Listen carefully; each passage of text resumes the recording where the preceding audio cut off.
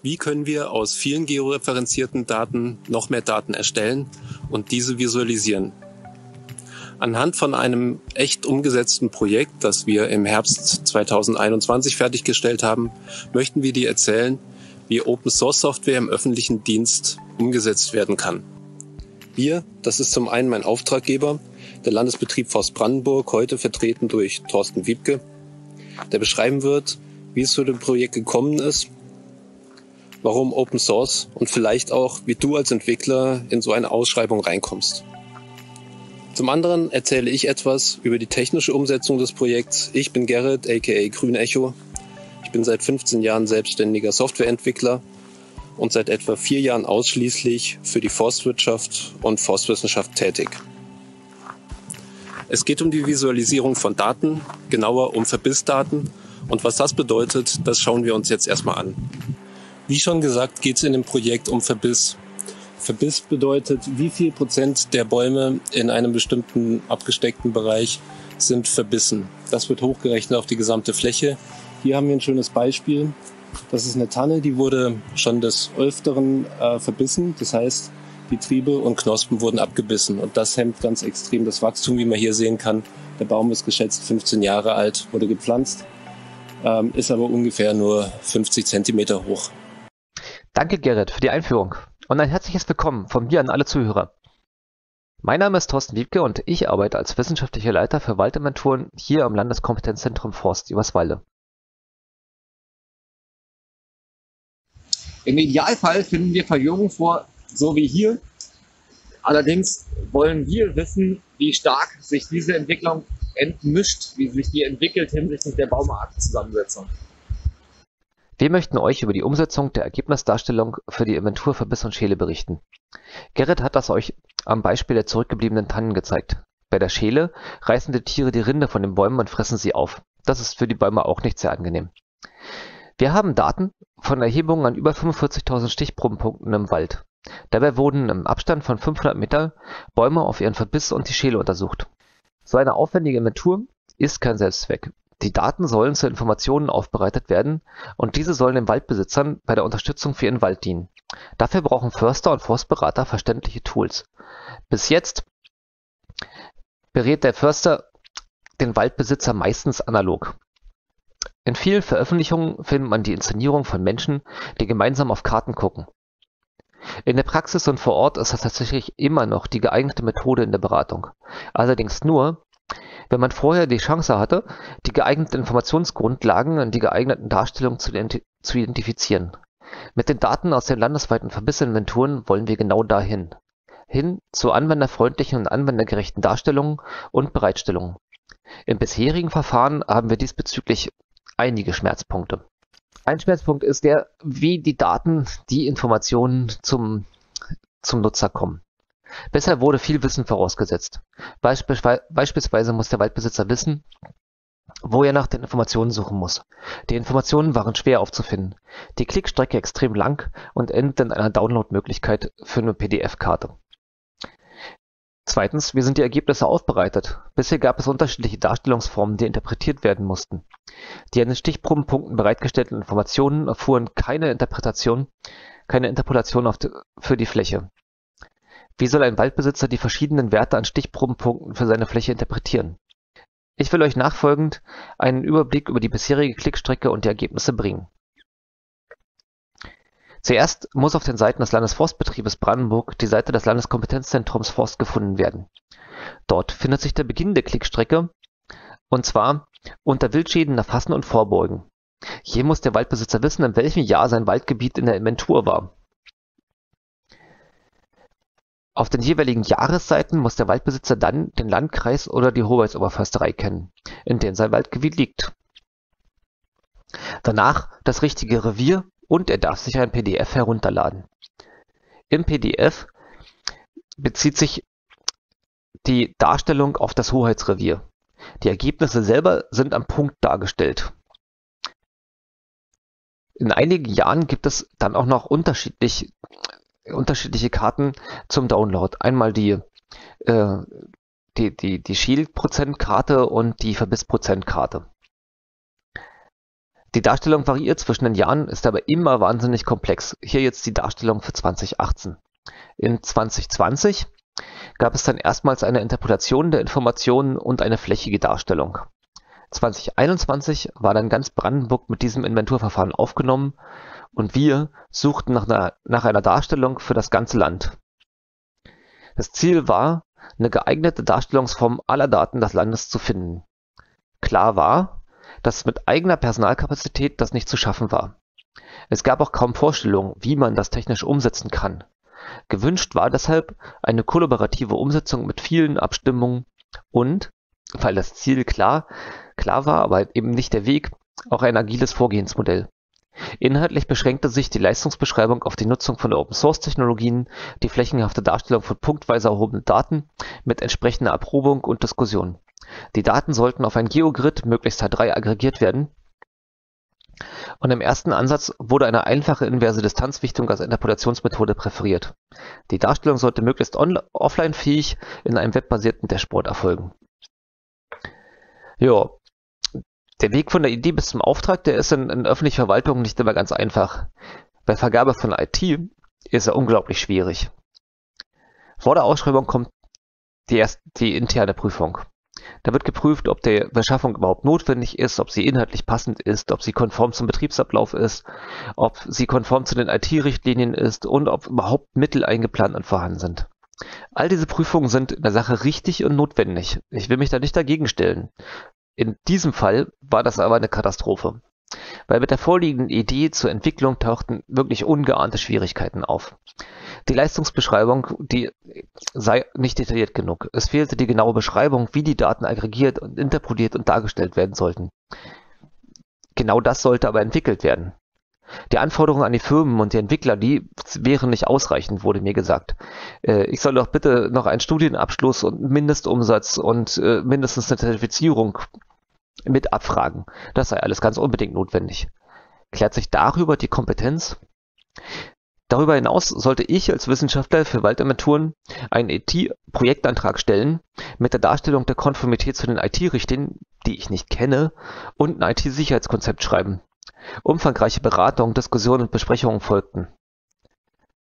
Dass wir letztlich doch in die Vergabe gehen konnten, ging nur, weil die Leistung und damit das Risiko verringert wurde und die Zeit bis zur Veröffentlichung der Ergebnisse vor dem Ministerium drängte. Als der Auftrag letztlich vergeben werden konnte, waren nur noch wenige Tage bis zur Ergebnispräsentation vor dem Ministerium. Ein lehrbuchhaftes, agiles Vorgehen erübrigte sich. Dafür folgten Videokonferenzen, tägliche Telefonate und Stunden vor dem Rechner, in denen ich auf GitHub und auf einer Ergebniswebseite dem Entwicklungsfortschritt zusehen und mitgestalten konnte. Kollaborative und agile Entwicklung heißt für die Bedarfssteller ein höherer Aufwand während der Bearbeitung, nicht wie sonst üblich davor. Danke, Thorsten. Bevor wir in die Technik gehen, möchte ich gerne noch auf, äh, von Auftragnehmerseite die Anforderungen der Vergabestelle beurteilen. Ein Best Practice Beispiel von einem meiner Kunden. Eine Anforderung ist, nenne drei Referenzen, nenne drei Kontakte äh, mit Telefonnummer und E-Mail-Adresse. Die können Sie dann anrufen, können fragen, wie ich hab, wie habe ich für die gearbeitet, war alles okay. Was ich auf jeden Fall empfehlen kann, ist der EVB IT äh. Heißt, ergänzende Vertragsbedingungen für die Beschaffung von IT-Leistungen. So, genug vom Projektmanagement. Jetzt schauen wir uns an, warum wir das Projekt so umgesetzt haben, wie wir es eben gemacht haben. Das geht zurück auf die Zielgruppe, die in diesem Fall die Privatwaldbesitzer sind. In Deutschland haben wir relativ viele Kleinstprivatwaldbesitzer, deren Lebensinhalt vielleicht nicht ähm, der Wald selber ist. Dementsprechend sind sie vielleicht auch nicht äh, gewillt, extra eine Applikation irgendwo runterzuladen, zu installieren und sich reinzuarbeiten. Wir brauchen also einen niederschwelligen Einstieg. Daher haben wir uns für eine webbasierte Applikation entschieden. Weil das Ganze auch im Wald funktionieren soll, ähm, muss das Ganze auch offline verfügbar sein. Daher Progressive Web Application. Der Unterschied zwischen einer ganz normalen Webseite ist eigentlich nur ein Manifest, was wir brauchen und ein Service Worker. Den schauen wir uns später allerdings auch noch an. Der Auftrag ist also angenommen, das Projekt kann losgehen. Das erste, was ich gemacht habe, ist ein Repository angelegt. Ich habe Thorsten hinzugefügt und habe das Lastenheft in Form von Issues eingefügt. Für die Leute, die sich mit GitHub nicht auskennen oder anderen Versionierungstools, Das ist die Ordnerstruktur von dem Projekt, was wir durchgeführt haben. Sobald ich irgendwo Änderungen mache, und das haben wir in diesem Fall täglich gemacht, ähm, bekommt Thorsten eine Nachricht, wenn er das möchte. Und auch wenn Issues geclosed werden, bekommt er eine Nachricht. Wir haben das Repository angelegt und wir können wirklich mit, den, mit der Datenverarbeitung anfangen. Ich habe von Thorsten SQLite-Format bekommen, dass wir uns in QGIS öffnen können. Wenn wir mal reinzoomen, dann sehen wir auch die Abstände der einzelnen Aufnahmepunkte, die Thorsten angesprochen hat. Wir möchten das Ganze umformatieren in ein Format, was wir auch weiter benutzen und weiter verarbeiten können. Wir wählen zum einen WGS 84 aus, nehmen natürlich nur die Attribute, die wir wirklich brauchen und können erstmal alle Layer einzeln exportieren. Wir haben allerdings nicht genug Punkte. Wir müssen nämlich noch auf die komplette Waldfläche in Brandenburg interpolieren. Hierzu gab es die Auswahl R, Python, Node.js. Ich habe mich für Node.js entschieden, weil ich es für am skalierbarsten empfinde. Um das Ganze hoch zu interpolieren, brauchen wir noch die Waldfläche, die habe ich auch von Thorsten als GeoJSON bekommen. Wir brauchen allerdings nur die Punkte, war ja auch äh, eine Vorgabe des Auftraggebers, nur die Punkte in einem H3-Grid. Für die Leute, die H3 nicht kennen, hier eine schöne Grafik, die ich euch zeigen kann. Ähm, es gibt bei, äh, in dem Grid auch verschiedene Zoom-Stufen, die wir auch so in dem Projekt umgesetzt haben, und zwar auch drei Stück von groß bis eben kleinen Hexagonen. Wenn wir auf das kleinste Grid von H3 interpolieren, kommen wir auf eine Datenmenge von etwa eine Million Datensätze über die ganze Waldfläche Brandenburgs. Äh, der Ablauf der Entwicklung ist wahrscheinlich jedem klar. Wir wählen uns ein Framework aus, was gut zu dem Projekt passt. Wir programmieren, machen eine Progressive Web Application draus, wie schon angesprochen. Dokumentation, Testing fällt weg, weil wir nur 13 Tage haben. Äh, Deployment ist schon vorbereitet, weil wir mit GitHub Pages arbeiten. Fangen wir also vorne an. Wir wählen ein passendes Framework für uns aus. Und genau hierfür habe ich ein kleines Template geschrieben. Hiermit kann ich überprüfen, äh, welche Datenmenge auf welchem Framework noch gut funktioniert. Das installiere ich mit einem Befehl. Jetzt wird das Projekt geklont. Die Dependencies werden installiert und es wird automatisch auf meinem Localhost deployed. Das Ganze basiert auf Svelte. Das ist sowas, für die, die es nicht kennen, sowas wie Angular, Vue und so weiter. Jetzt sehen wir schon die Karte angezeigt in DeckGL. Das ist erstmal Default. Der Datensatz ist auch der, den wir gerade aus QGIS exportiert haben. Das Template, by the way, ähm, ist auch Open Source. Ihr könnt es praktisch nutzen, wenn ihr es wollt. Wenn ihr testen wollt, welches Framework euch besser passt. Wenn ihr das macht, könnt ihr einfach in die Config gehen und dann seht ihr hier unter Framework die Möglichkeit, die Auswahl zwischen DeckGL, Leaflet und OpenLayers. Genauso machen wir das jetzt. Wir äh, nutzen jetzt einfach Leaflet als Framework mit genau denselben Daten und schauen uns an, wie es da aussieht.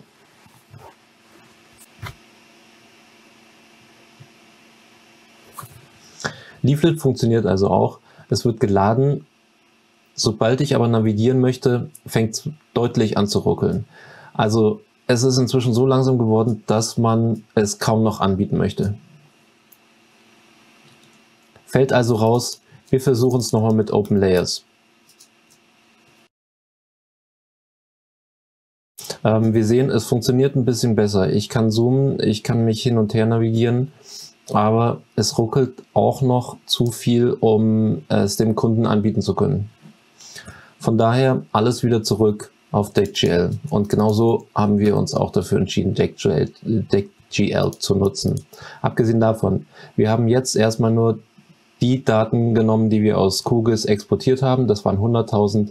Ähm, wir werden später auch einen Layer ausprobieren, der eine Million Datensätze hat.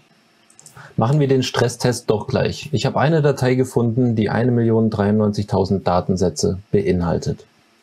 Man darf nicht vergessen, diese Datei ist etwa 150 Megabyte groß und kann so im Netz natürlich nicht angezeigt werden.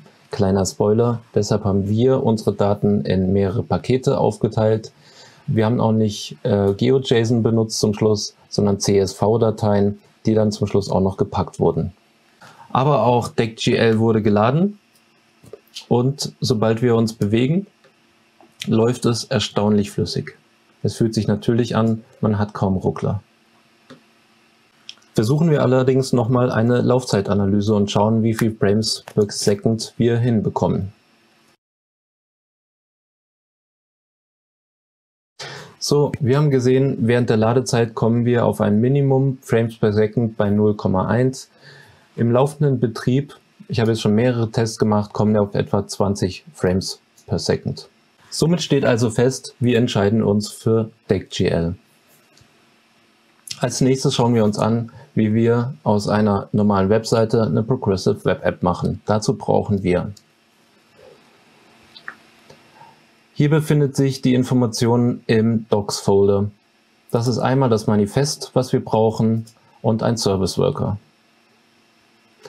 Der Service legt fest, was wir cachen wollen, was praktisch offline nachher zur Verfügung steht und definiert, wie es gecached werden soll. Das ist in dem Bereich. Im Manifest steht drin, welche Icons wir benutzen wollen. Wenn installiert wird, dann wird die Web, äh, dann wird es auf dem Screen einen Button geben auf dem Homescreen, über den wir dann in die Applikation navigieren können. Wir haben es also jetzt geschafft, unsere Daten performant auf eine Karte zu bekommen. Der Rest ist eigentlich nur noch Fleißarbeit. Schauen wir uns an, was bei der Fleißarbeit rausgekommen ist. In unserem Repository findet ihr den Link. Der zeigt auf den Docs-Folder und zeigt die fertige Applikation an. Auf der rechten Seite, wie wir es kennen, eine DeckGL-Karte, hier ausgeschnitten und ein Menü der zwei verschiedenen Aufnahmen. Einmal Shell-Prozent, wie Thorsten es erzählt hat, und Verbiss-Prozent. Die Farben animieren. Auf der linken Seite haben wir eine Textnavigation, die ist in Plain JavaScript geschrieben. Sobald wir auf eine Oberförsterei gehen, ähm, wird auf den Bereich gezoomt, der ausgewählt wurde. Und sobald wir das Revier Eberswalde auch auswählen, dann wird ähm, hierhin gezoomt. Wir haben die Möglichkeit, wie bei DeckGL üblich, über Command auf Mac oder Steuerung auf Windows äh, in den 3D-View zu wechseln. Das wird hier in diesem Fall auch noch animiert.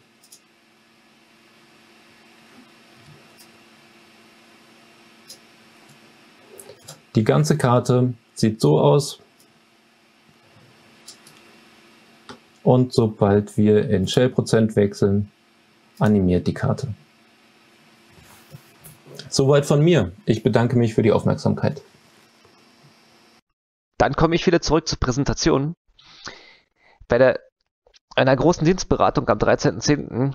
zusammen mit dem Ministerium löste die Anwendung große Begeisterung aus. Alle waren begeistert von der Darstellung, von der Darstellungsform, begeistert von der Möglichkeit der Verwendung auf Tablets in der Beratung.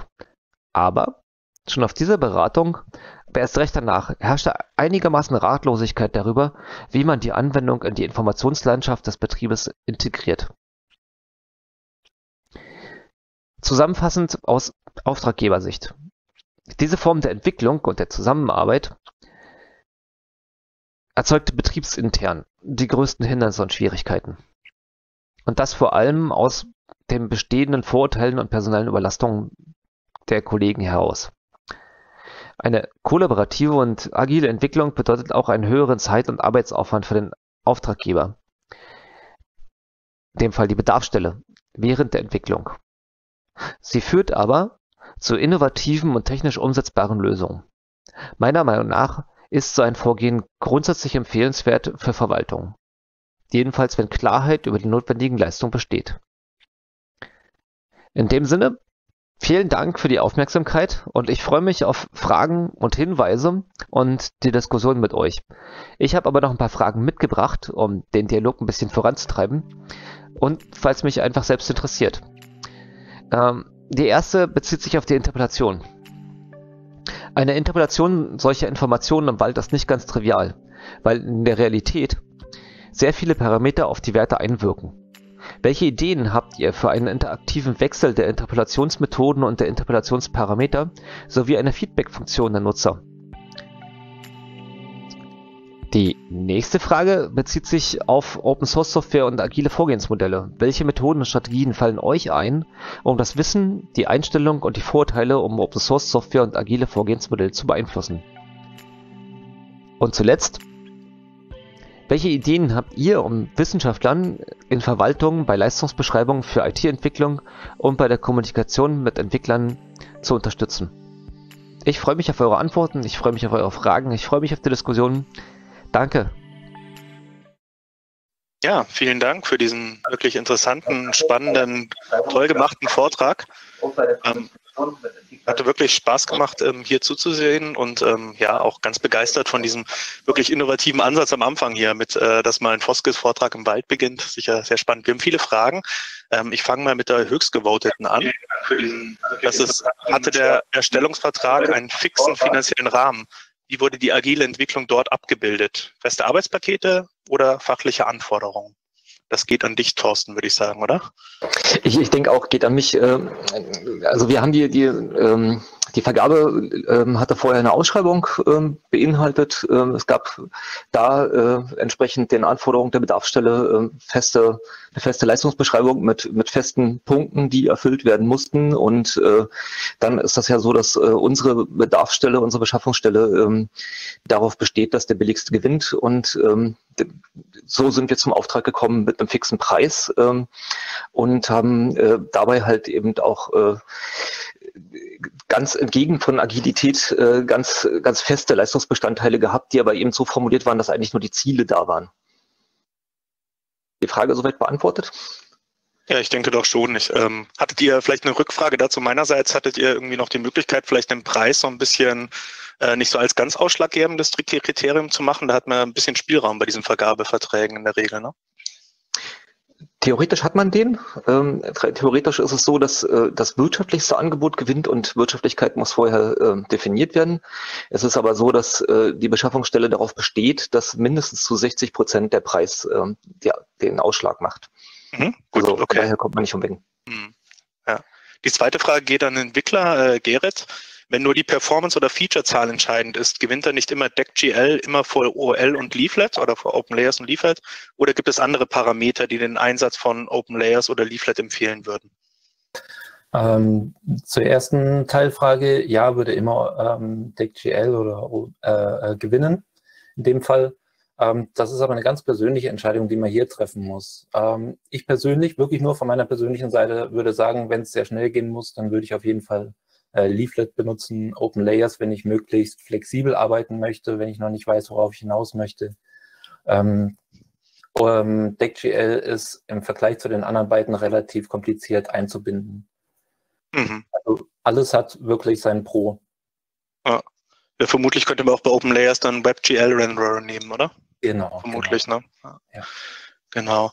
Ähm, die Frage zum Vertragsmanagement und der Vergabe für das Projekt. Ähm, Thema EVBET-Verträge ähm, steht jetzt noch eine Frage im Raum.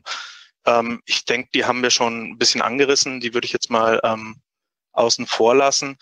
Ähm, dann ist noch die nächsthöhere Frage, welches Vergabeverfahren wurde gewählt? Also vielleicht bezieht sich das darauf, welcher IVBT-Vertrag, könnte ich mir vorstellen vielleicht, aber Nee, das sind unterschiedliche Paar Schuhe. Ähm, das Vergabeverfahren, was äh, dann gewählt wird, äh, ist ja abhängig vom, vom Preis, also vom, vom Risiko für den potenziellen Auftraggeber, für den, für den Haushalt. Ähm, in dem Fall war das äh, eine Verhandlungsvergabe, äh, so heißt das in Brandenburg, woanders würde das beschränkte Ausschreibung heißen. Mhm. Das heißt, man holt sich Angebote ein dann, also konkret, oder? Ähm, man, man gibt Firmen an, von denen dann die Beschaffungsstelle äh, Angebote einholt. Vorher wird allerdings auch äh, veröffentlicht, ähm, dass ähm, es dort in Zukunft eine Ausschreibung geben soll und man muss alle Firmen berücksichtigen, die dabei ein, ein Interesse melden, es sei denn, man kann sich von vornherein mit irgendwas ausschließen. Mhm. Gut, dann hätten wir noch eine letzte Frage, die geht ähm, auch nochmal an dich, Thorsten. Wie viel Erfahrung mit OSS hatten die Beteiligten beim Auftraggeber? Also es geht an dich, insofern deine Erfahrung und wahrscheinlich noch relevanter die Erfahrung in deinem Umfeld. Vielleicht dazu nochmal ein, zwei Sätze zum Abschluss.